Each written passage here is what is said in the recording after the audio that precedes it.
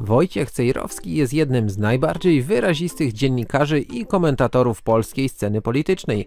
Cechujący się bardzo ciekawym stylem komentowania wydarzeń na całym świecie, zdobył serca tysięcy widzów i słuchaczy. W dzisiejszym wideo przyjrzymy się biznesom, jakie prowadzi pan Wojtek. Jeżeli więc chcesz dowiedzieć się, na czym zarabia przedsiębiorca zamieszkały w Arizonie, Musisz zobaczyć to wideo do samego końca. Z tej strony Tomek z kanału Sprytny Pieniądz. Witam Was bardzo, bardzo serdecznie. Wojciech Cejrowski pochodzi z rodziny, w której biznes i przedsiębiorczość była czymś normalnym. Już sam dziadek Wojciecha Cejrowskiego wpoił mu zasadę trójpodziału pieniędzy, która mówiła, że cały nasz dochód dzielimy na trzy części jedną część na chleb, drugą na siew, a trzecią na zaś, co oznaczało, że jedna część naszego dochodu powinna być przeznaczona na życie, druga na inwestycje, a trzecia część powinna zostać odłożona na tak zwaną czarną godzinę. Ojciec Wojciecha Cejrowskiego, Stanisław, również był bardzo przedsiębiorczym człowiekiem. Był on znanym animatorem jazzowym i menadżerem zespołów takich jak No to co czy Czesława Niemena. Jak wspomina sam pan Wojciech, jego ojciec od najmłodszych lat zabierał go na koncerty, na których to poznawał on zarówno wykonawców, jak również sztukę budowania biznesu. Jak więc widzicie, pan Wojtek od najmłodszych lat wzrastał w otoczeniu osób utalentowanych i znających się na prowadzeniu biznesu. Oczywiście zaowocowało to w przyszłości. Wojciech Cejrowski już w swojej młodości zaczął wyjeżdżać za granicę i poznawać szeroki świat. Przez 10 lat pracował nawet w stadninie koni w Szwecji, jak również podróżował po wielu krajach. Rozpoczął również swoją karierę telewizyjną, a popularność przyniósł mu program WC Kwadrans, który był nadawany w TVP w latach 1994-96. W programie tym prezentował konserwatywne poglądy na kwestie społeczne i promował w nim pozytywne znaczenie słowa ciemnogród. Po tym sukcesie kariera pana Wojtka nabrała rozpędu i realizował on kolejne programy w przeróżnych stacjach telewizyjnych, takich jak TVP, RTL 7, Polsat czy TVN Style. Ostatnim, najsłynniejszym chyba programem telewizyjnym były jego występy w Minęła 20, w których to wraz z Michałem Rachoniem komentowali wydarzenia polityczne. Oprócz kariery telewizyjnej Wojciech Cejrowski równolegle rozwijał się również w radiu. Na przestrzeni lat pracował on w Polskim Radiu, Radiu Kolor, Radiu Wawa i innych. Ostatnio rozpoczął stałą współpracę z Radiem Wnet, w której to w audycji Studio Dziki Zachód tak, dokładnie zgadliście, komentuje wydarzenia polityczne w Ameryce i na całym świecie. Jak widzicie więc pan Wojciech jest tytanem pracy, a to tylko niewielki urywek jego życia. Czy jednak praca na etacie mogłaby przynieść panu Wojtkowi bogactwo i dobrobyt?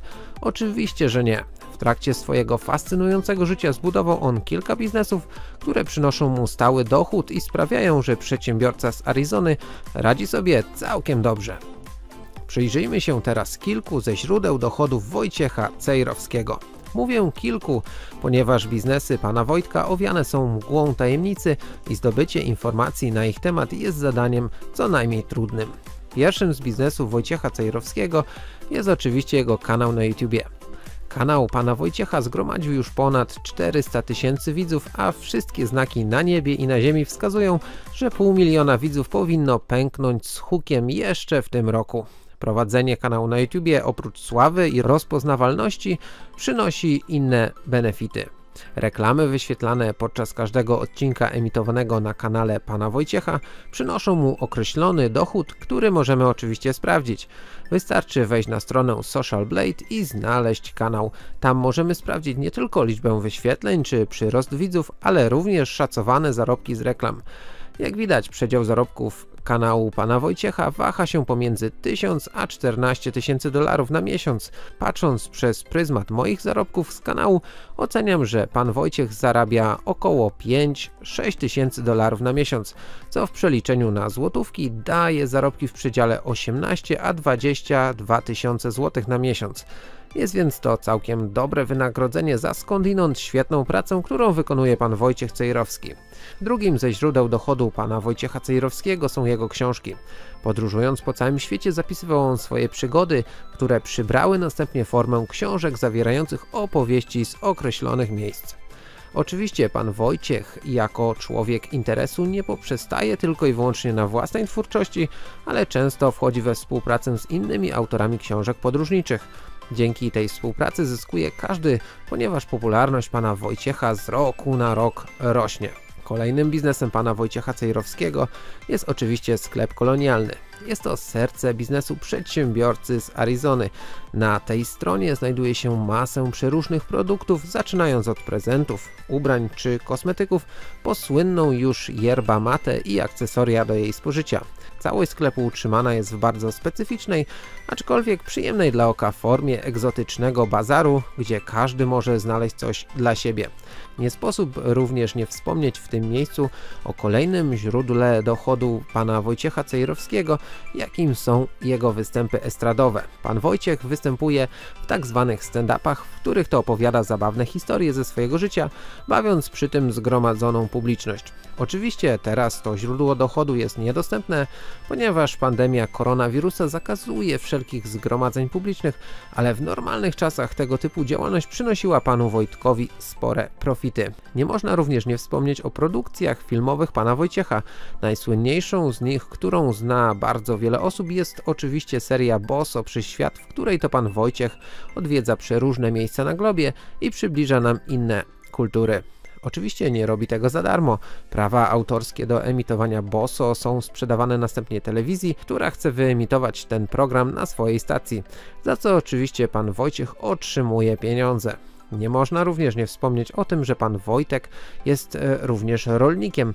Od kilku lat zaczął parać się tą gałęzią przemysłu i produkować własną mąkę żytnią.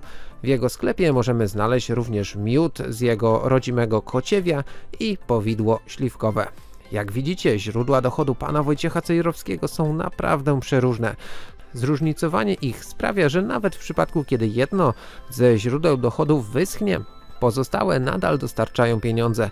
Myślę więc, że tego typu taktykę powinien stosować każdy przedsiębiorczy człowiek, w myśl zasady, że nie wkłada się wszystkich jajek do jednego koszyka. Oczywiście w tym wideo nie zostały odkryte wszystkie źródła dochodu pana Wojciecha, ale jedynie te, które udało mi się znaleźć w sieci. Oczywiście pan Wojciech prowadzi również inne biznesy. Niemniej jednak myślę, że to wideo uchyliło pewnego rąbka tajemnicy na temat tego, czym trudni się Wojciech Cejrowski. To już wszystko na dziś. Mam nadzieję, że to wideo dało Wam wartość. Jeżeli chcielibyście, abym nagrał wideo o innej postaci świata biznesu, zapraszam Was do pozostawienia komentarza z propozycją na kolejny odcinek.